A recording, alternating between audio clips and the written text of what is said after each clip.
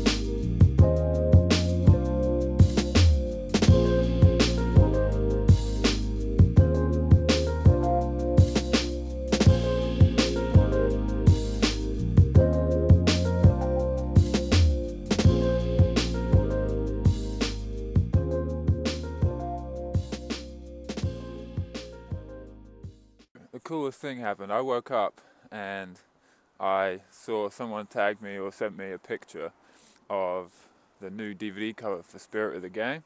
It comes out on DVD on February 7th, and I'm on the front cover of a DVD of a real movie. How cool is that?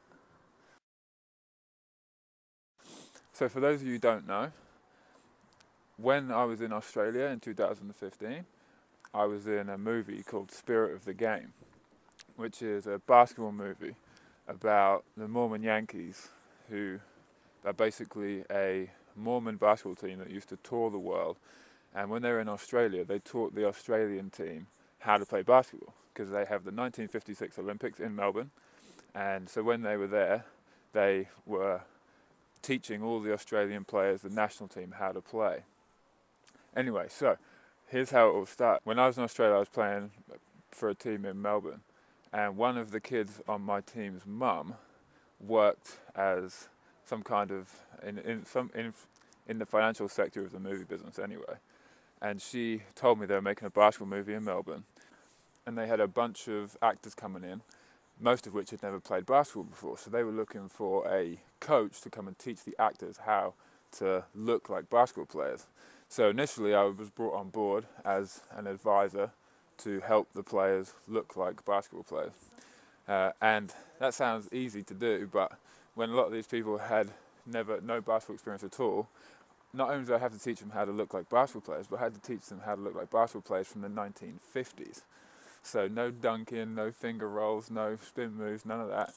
So I had to do a lot of research to try and figure out what they would have to look like and run coaching sessions that would help them learn those skills. And thankfully, they got all the actors, all the all the guys were really, really great guys. So it was cool, it was easy, but it was also a lot of fun. One of the directors asked me if I'd like to be in the movie because I could be on the French team, who was the main team that they play in the movie. So I ended up being cast as this French guy, this tall, mean French guy called Grange, uh, and I ended up being in the movie and it was really really cool experience for me because obviously I don't have any experience of being in a movie or understand any anything what that world is like. But for like two straight weeks we were on set and the people that I was working with were so so cool. Like the guy the star of the movie Aaron Jakubenko really really cool guy. Ended up becoming really good friends with him. He's a really nice guy as well as a really talented actor.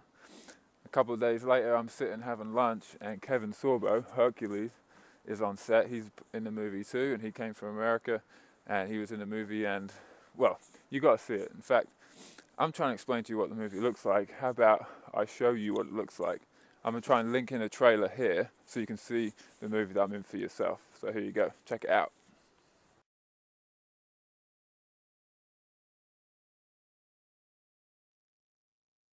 I'm excited to get out and meet some people. Yeah, that'll wear off soon enough. What do you mean? Hello, I'm Elder Khan. Well, at least you got to say hello.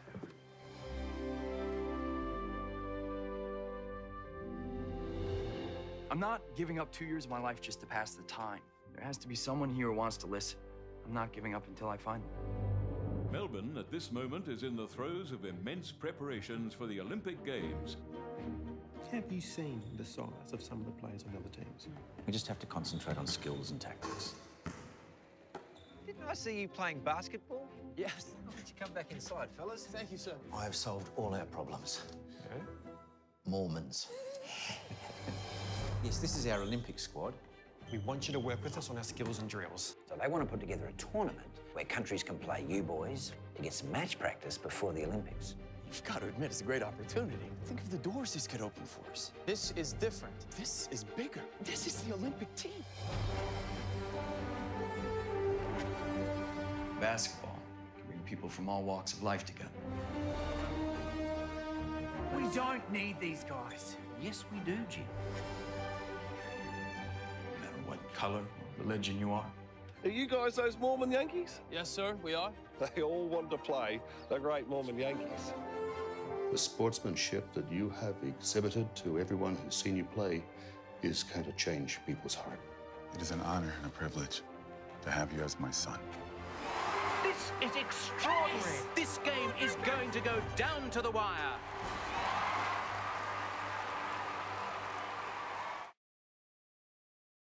I woke up and I saw I was on the front cover of this DVD, and it's me dressed in my. Wait till you see what I'm wearing. You're gonna laugh because my shorts are. To say they're short shorts would be a massive understatement. We're talking 1950s. These things are like. Check it out. Have a look. Have a laugh. I'm number one on the French team. Uh, I was I was sad that I missed the premiere of the movie. I got an invitation to go to the premiere in Melbourne, and there was another premiere in Utah. And obviously, I was in I don't know if I was in Germany or England at the time, but either way, I wasn't in Australia or America at the time when the movie premiered, so I didn't get to go. But some people sent me some snapshots of the movie and told me that I was featured in it a lot, so it's really cool. I'm really excited for it to come out on DVD so I can actually finally watch it. I'm just, I'm really, really grateful for the experience. I'm really, really grateful for the opportunity. Just, I'm really grateful that I'm on IMDb as an actor, which is really funny because it's not something that I ever realised I would actually do. But to be in a movie, a real proper movie, to spend all that time on set, to all the people in the movie Spirit of the Game, not just the actors, but the directors, the producers, everyone behind the scenes, even to the runners who are picking me up at 5 a.m. to take me on set. It was just a crazy experience, but it was so, so cool. And if you're watching this and you were a part of the movie and you know me and we talked, you're part of the reason that I had such a great experience because honestly, it was one of the coolest things I've ever been a part of. So, my plea to you is the movie comes out on DVD on the 7th of February. So, I don't know when you're watching this, but if it's already past the 7th of February, you can go on Amazon and pre order it now, or you can buy it worldwide on Amazon. So, check it out. Yours truly is on the front cover of the DVD, which is really, really cool. Make sure you check out the movie and then comment below and let me know what you guys thought of the movie. I'm really excited about it. I'm really excited to see it myself. So I'm interested to hear. And don't just laugh at me because of the shorts I was wearing in the movie. Actually, enjoy the movie for what it is because it's a really, really cool, like uplifting experience. And the whole story about it is about a guy in particular whose life changed and how he was able to change the lives of others. So it's a really inspiring movie. You guys are going to love it, I'm sure. So check it out and let me know. Show your support. Dankeschön. Schönen Tag noch. Ciao.